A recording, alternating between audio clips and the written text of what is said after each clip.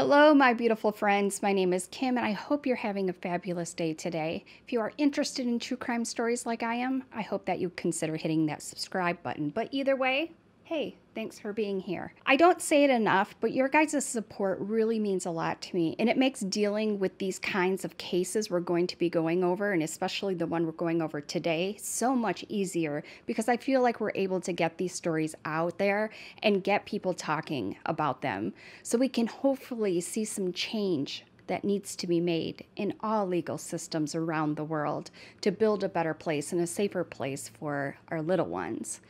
It's rough out there, and today's case is no exception. I want to start out on a better note that today's case did go on to change how child abduction cases are handled and classified in Canada. So we can say that Tori left some sort of legacy behind her, but that doesn't mean that today's case is a happy one. But first, a word from our sponsor. Thanks to Established Titles for sponsoring today's video. Established Titles is so fun because they take the old Scottish custom that anyone who owns land in Scotland, you are considered a lord or a lady. Therefore, established titles offers you to buy land. And what is cool is it's just one square foot of land ownership, but this gives you the title of lord or lady. I got one for myself. But I think this is the perfect gift to the person that is so hard to buy for because they have everything, or for a young one that is into princesses I managed to get some of my Christmas shopping done early, and so I got these little princesses their own certificate with their name and the title of a lady. And I know they're absolutely going to love this, and they're going to be bragging to their friends of how they are ladies now. What's cool is you can put this on plane tickets or your credit cards just imagine you show up with your credit card and you're getting like bad service or something, and you're like, look, I am a lady. Lady Kimberly Flower. They have options of Lord or Lady as well as couple packages. You and your partner can have adjoining land. This is perfect for a wedding gift. You get the plot number on the piece of land that you own. Who wants to go with me and check it out in Scotland. Last but definitely not least is that Established Titles has dedicated themselves to planting a tree with every order, and they plant them all over the world. They are partnered with One Tree Planted as well as Trees for the Future organizations to help the efforts of reforestation. This makes me feel good that my purchase is helping the environment. Established Titles is running an early Black Friday sale for my viewers, which you will receive 10% off of your purchase by clicking on my link in the description box below and use the code KimFlower at checkout. That's established titles forward slash KimFlower. And of course, as always, the link will be below. The first 200 people purchasing a title pack using my link will effectively be next to my plot, within a few minutes of walking distance. Depending on how many of you want to become a lord or lady, we can build our little community, our little Kimberly Flower Rockstar community. Thanks to Established Titles for sponsoring today's video, and thanks to all of you for listening. Tori Stafford was born Victoria Elizabeth Marie Stafford but everybody called her Tori. Her parents were Tara and Rodney. She was born on July 15th, 2000, in Woodstock, Canada. She was a bright, sweet girl, and she really got along with her 11 year old brother. We're going to call him D, who used to walk her back and forth to school every day shoot, I uh, disclaimer, I kind of said it in the beginning, but this case is about a nine year old girl with mention of SA and uh, the worst way.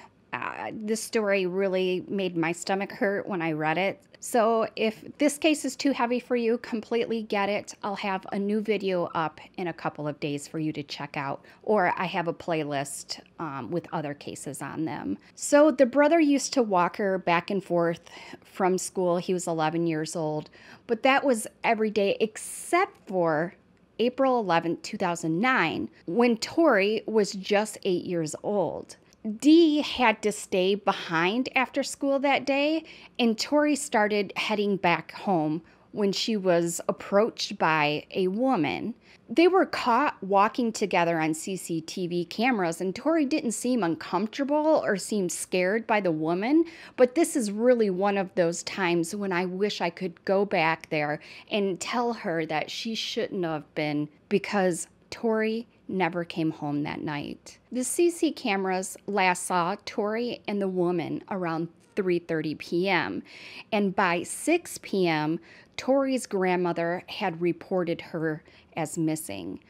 Tori lived and was cared for by her mother.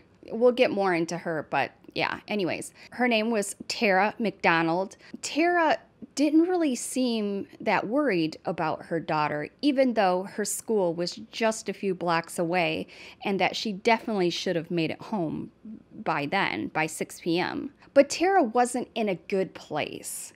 She was a drug addict by all reports that I've seen. Tara McDonald answered frankly about her dependence on drugs, specifically Oxycontin, at the time of Tori's disappearance. When investigators realized that up until then, only Tori's grandmother had actually tried to find Tori, and she'd been the one out looking for her and the one who filed the missing persons report. They suspected that Tara knew more about Tori's disappearance than what she was letting on. Tara just did weird junk all through this case. Pointed at me or my family, you know, and I, I just think it's disgusting. I've heard all kinds of shit, and yeah. it's real, pardon my language, but it's really right. starting to frustrate me. People have said, you know, I don't come out here and bawl and cry in front of the cameras and carry on. And, you know, there was somebody who put their kids in their car seats and drove into a lake with their kids, and they went out there and bawled and cried and carried on, and they were the person who was responsible for it. I'm just not the kind of person that can come out here and cry for the cameras every single day. Well, what, what, are you kind of saying because I was crying and showing my emotions and stuff? I'm behind this? No, I'm not that saying that. I'm saying that's, that. That's the way I took what you just said. No, I'm saying that people get angry because I don't come out here and I can't cry in front of cameras. And so people are holding that against me and saying that, you know, she's acting this way, so she must have something to do with it. That's just the way that I am. I can't come out here and open up for a bunch of strangers. And if people can't understand that, then. Sorry, this is making me really frustrated, Tara, because this is your daughter. It doesn't matter who should be standing in front of you. I could have the world standing here and I would cry. I wouldn't care. Tori is missing. Do you what, think, Ronnie, what, I'm not going to stand here and fight with you about it, okay? You know what? From now on, any of these press conferences, okay, if you want to do them, continue them. I will do mine elsewhere because, no, you are showing a total lack of support or support for your daughter. You know no. what? You want to talk about a lack of support okay. for my daughter? Where the hell Keep were going. you for the last nine years? Okay. Where were you for the last? Check every years? one of these cameras, every one of these media, every one of those police You've officers. You've been at them now. I but where were you for the last nine years? I have told years? them everything from the beginning. Yeah, walk away like usual, Sarah. You're the one who's yeah. fucking walking away. Yeah. But on top of that, the investigators actually believed that Tara was the woman in the CCTV footage, and she did match the description. The footage wasn't clear, so all the investigators knew was that Tori had last been seen with a woman with long dark hair and wearing a white coat. But it wasn't Tara in the footage and she couldn't tell investigators where Tori was, so Tori stayed missing. The police launched a massive search of the area, and the parents kept their kids home from school when they found out that Tori had gone missing. But even with all this going on, Tori didn't actually qualify for the Canadian standard of being abducted at the time, and they didn't issue an Amber Alert. Actually, police only broke the news on local news channels the first night and only started broadcasting nationally the next day.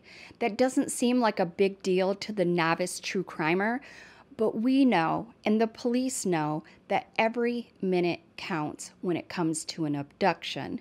Tori would actually be missing for a whole week before law enforcement changed her case from a missing persons to an abduction by then had some pretty solid evidence that they weren't looking for Tori, but rather they were looking for a body. They called off all ground searches and told parents to let their children go back to school, but they hadn't actually found Tori. They'd found the woman in the CCTV footage, and her name was Terry Lynn McClintic. She was 18 years old and she may have cut her hair into a bob to try to change how she looked since the CCTV footage had been released, but she quickly fessed up to taking Tori once investigators brought her in for questioning. Unfortunately for Tara, the mom, things looked bad for her again. Tori's father, Rodney Stafford, said that Tara knew Terry Lynn.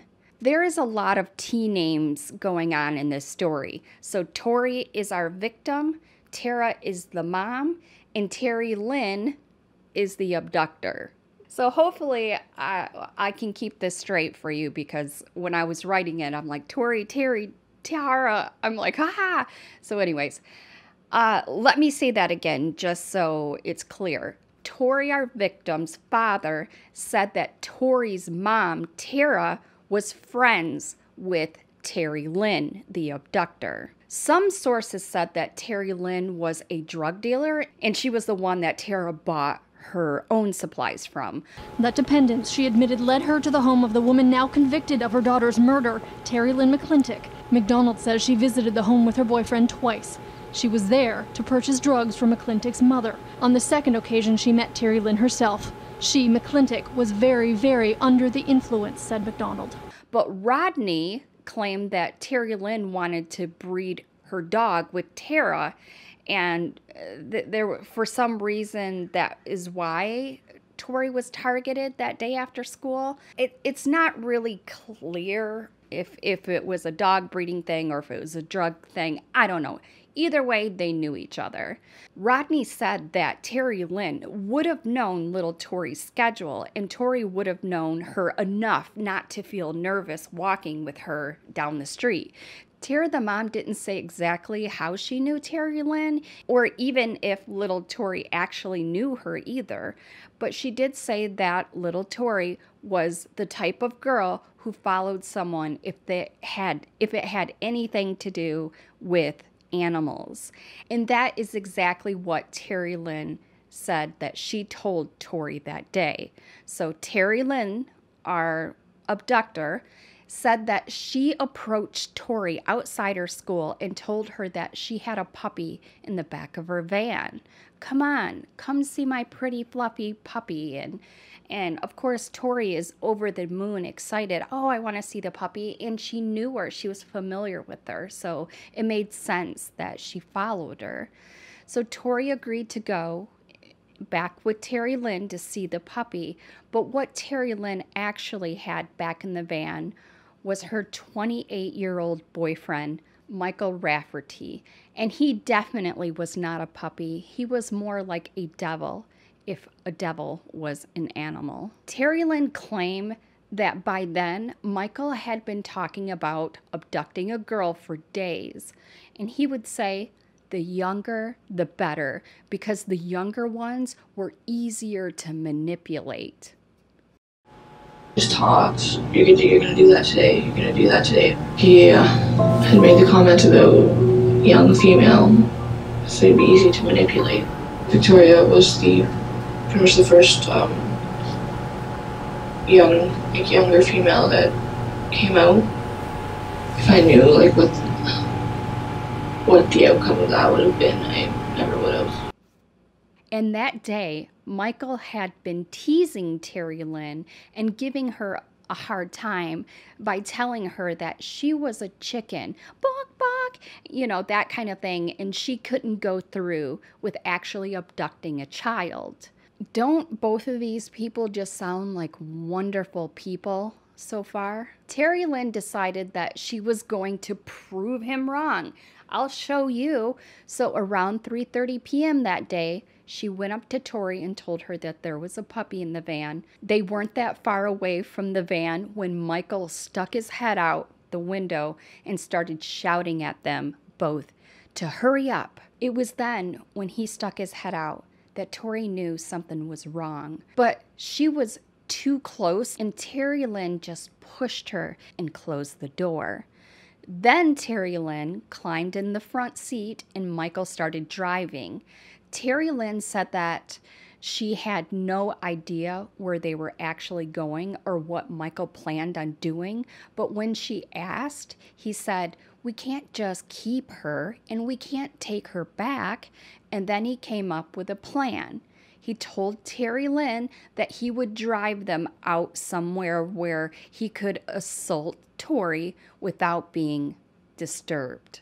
And that's exactly what he did. And then he said, and we'll take it from there. Terry Lynn agreed, and whenever Tori started crying and asking where they were going, she told her that they were just going for a drive and then they were going to take her home. But Michael first took them to a Home Depot where Terry Lynn bought a claw hammer, a claw hammer, some garbage bags. They just drove some distance away from where they abducted Tori, much further out than anyone actually was looking for her. They pulled up to an abandoned house off the side of the road, and Terry Lynn got out of the car and just walked away. She later admitted in court that she knew what Michael was going to do, and she didn't do anything to stop him, even when she heard Tori screaming.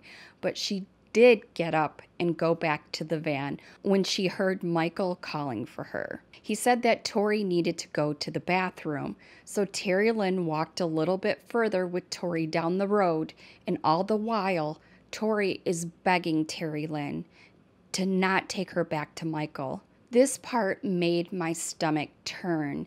It's bad. So I'll put a timestamp when I get past this. And, you know, I don't know if it's just some cases get to me more than others, but for whatever reason, this part just gets me every time.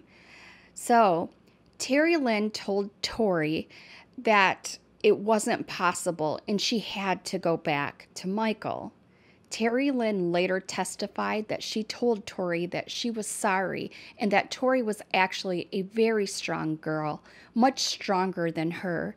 And then she took nine year old Tori right back to Michael so he could assault her again. Terry Lynn first agreed to stay with Tori and hold her hand while Michael was assaulting her. But Terry Lynn couldn't stomach the pain and the cries for help to stay for the whole thing, and she ended up walking away. I'm just mind blown. How is this a world that we live in? It's so messed up. Anyways, that's over. And I didn't cry, so I'm not sure if I'm more angry or disgusted. I don't know. I definitely feel sick. Who is worse? Terry Lynn or Michael. Terry Lynn then told investigators that Tori was dead and she did her best to guess where investigators could find her body. Then told Tori's family what Terry Lynn had told them and that she didn't expect to find Tori alive. But without a body, Tori's family kept holding on to hope that she'd come back to them, especially her 11 year old brother, who probably couldn't even comprehend what was going on. You know, she's there in the morning and then he gets out of school and he never sees her again. I'm not even sure how a parent could ever give up hope and believe that their child was really dead without some hard proof. But it was enough for the investigation team. They arrested Terry Lynn and charged her with abducting a minor and accessory to murder. Michael Rafferty was arrested for first degree murder and R of a minor. Michael denied everything, but reporters saw him crying just before the judge walked into court for their first hearing. Nothing was brought in as evidence that day, but they were there to decide if Terry Lynn and Michael would be tried together or separately, and the courts went with separately. They officially pitted Terry Lynn and Michael against each other. But Terry Lynn had already told investigators everything, and she knew about where to find Tori. And Michael, he just wasn't talking, he wasn't saying anything. Giving you the opportunity, you want me to be fair, you want me to listen to both sides. I'm tired, I'm exhausted, I'm still hungry. It's been a long day. It's, And it's the next 25 crazy years day. of your life So are on the line, Mike. So t- well, then it can wait one more day when I talk to a lawyer and I know exactly, exactly all my rights. But an investigator who actually was taken off of Tori's case, he had to help with a, another case for a couple of months. But he was driving down the highway back to Woodstock on July 19th. And he remembered that Michael's phone had pinged off a tower down a path of a road not too far. So he was right there. The investigator was actually heading back for a briefing to talk about searching that particular area. And he couldn't just drive past without checking it out himself. I mean, he's already there. And he spotted the house that Terry Lynn had described. So he pulled off the road and started driving down the dirt path towards. Um, and as soon as he got out of his car, he saw a pile of rocks that Terry Lynn had told him during the interrogation that they had buried Tori under. He also said that as soon as he got out of the car, he could smell the decomp. And then he found something in some garbage bags under the rocks. He touched it and it was soft, and he later testified that was when he found out that he had found Tori, so he called it in immediately. Tori's body was badly decomposed, especially from the waist down where she was naked. But Tara, the mom, recognized the t shirt that Tori was wearing, and she knew the butterfly earrings that she had on as well. Tori had actually borrowed them from her mom that morning before she had gone missing, and the dental records came back and confirmed that it was indeed Tori. The autopsy, guys, the autopsy. The report later came back to say that Tori had died from multiple and severe blows to the head done by, guess what? A claw hammer. But she'd also been beaten. She had a lacerated liver and 16 broken ribs. 16. Most of you want to pay Michael a visit. But guess what? Terry Lynn still had one more confession to make before the courts and Tori's family. She testified at trial that she'd been the one to kill Tori, not Michael. Up to then, investigators believed that Terry Lynn was being manipulated by Michael, and they were actually looking to go easier on her. But then she opened her mouth and something horrible came out. She said that after she'd come back to the van and the last time she seen Tori laying on the ground, she had in her own words a flashback. Seeing Tori like that had reminded Terry Lynn of when she'd been assaulted when she was Tori's age, and Terry Lynn flipped. Instead of helping Tori, like one would because she's been there, instead of doing that, she said she became filled with rage and then she did what she did. She put a plastic bag over Tori's head and then she started beating her with the hammer. But when Terry Lynn was finally done, Michael helped her bury Tori's body under the rocks, and the two got back into the van and headed home. But on the way, Michael turned to Terry Lynn to do a little mood check and asked her if she was all right. And she said she was. And then she asked him, and he said, Yeah, I'm all right too, considering. What is wrong with these people? They were both found guilty of first degree murder, and both of them were sentenced to life with the possibility of parole after 25 years. And I wish that I could say that it ended there, but it didn't.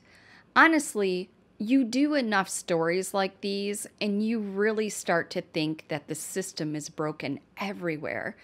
Michael stuck to his guns and appealed his case but he thankfully didn't get anywhere with his appeals. But Terry Lynn, good old Terry Lynn, managed to get herself transferred to a uh, I'm going to call it a mental hospital, but it's it's a health lodge is what they call it, where she planned to serve the rest of her sentence. And I know what you're thinking, "Oh, a health lodge, she must have been sick, right? Let me tell you about the Health Lodge. First of all, this health lodge is supposed to be for indigenous women, but there's no proof that Terry Lynn is actually an indigenous woman, and it's actually a minimum to medium level security prison. It's monitored 24 7 by video cameras and surveillance, but there's no fence around the perimeter of the facility. Basically, it's one of those places where she's pretty much free to do whatever she wants during the day. She's just got to be back in her room by roll call. I'm just, I'm, I'm just hoping this goes really well. I'd like to look at just the justice system itself, how how this was able to happen. Um, there's there's got to be loopholes somewhere that Terry Lynn was able to follow through and get to where she is. Sooner we can actually do something about these types of offenders, um, having less and lowered security and um, day passes and stuff like that, it's, it's it's not right. It's it's not fair to the victims, and it needs to change. I'm very excited, and I hope the crowd slowly continues to grow, and. Uh, it's a great feeling knowing that they're willing to come this far to help support the cause. And they all know just as well as I do it's it's important. Yeah, I'm just I'm I'm proud. I'm proud to be here, to be honest. How? How does someone who abducted an eight, nine year old who helped buy the murder weapon and who sat by while she was assaulted and then brutally killed her get to serve their sentence in a place like this? This woman is dangerous. She's only 18 years old. Just think if she had more wits about her, how creative she. Understandably, the public went crazy. And I just have to say something here. It doesn't matter which side of the political spectrum you're on. This is a child we're talking about, and someone should remember that when it comes to making decisions about people who hurt them, especially people like Michael and Terry Lynn. A motion was put in by a conservative MP to have Terry Lynn removed from the facility and placed back in a regular prison. But every single Liberal MP voted against it. They lost the vote 200 to 82. 200, that's way too many people losing sight of what we should be doing as a society and forgetting that we should always try to protect our children. Anyway, before I get too wound up to finish this one, Eventually, Terry Lynn's case was handed over to the Correctional Service Canada so they could figure out what to do with Terry Lynn, and they decided that she should be sent back to regular prison. Yes, should have never been in that other place, thank God. Both of them are currently still serving their sentences, and that's what I hope they will still be doing until the day they die, but they potentially could get parole. I am guessing Terry Lynn will probably get parole, even though she's the murderer, and Michael will probably spend the rest of his life in prison. Female, male, she'll play the victim. You guys tell me your thoughts, but anyways. So far, I'm not holding my breath for either of them. And before I go off on another rant, I'd like to wrap it up for today's case and pass it on to you. What do you think of Tori Stafford's case? And what do you think we could do better to help stop cases like this from happening again? How the investigators handled this did actually lead to them changing their criteria for classifying abductions and had made Amber Alerts more common in Canada. Because they had the abductor, they had the picture of her, it, in America, you know, you have that much information immediately goes to an Amber Alert because it's a, an abduction. But in Canada, they, they at the time they weren't doing that. So sorry if, if I re explained something you already knew. But, anyways, let's leave a purple heart for Tori in the comments? A lot of people are upset about what has happened, and you can see probably behind me a lot of purple. That was Tori Stafford's favorite color and really has become a symbol for people here. For her and her surviving family, especially her brother, I want to thank all of you for stopping by and watching this video here today, but a big thanks to all of my channel members and Patreons who continue to support me. Their names are on the screen. If you would like early access to new videos and decide the cases that I cover next, you can do so by clicking the join button from your desktop or there's a video in the description box on how to do it from your phone. Well, if you guys have made it to the end, you guys are rock stars and I love you to death. There are more true crime videos in my Crimey Cases playlist for you to check out. Stay safe, my loves, and remember if you see something, say something, and I'll see you in my next one. Bye.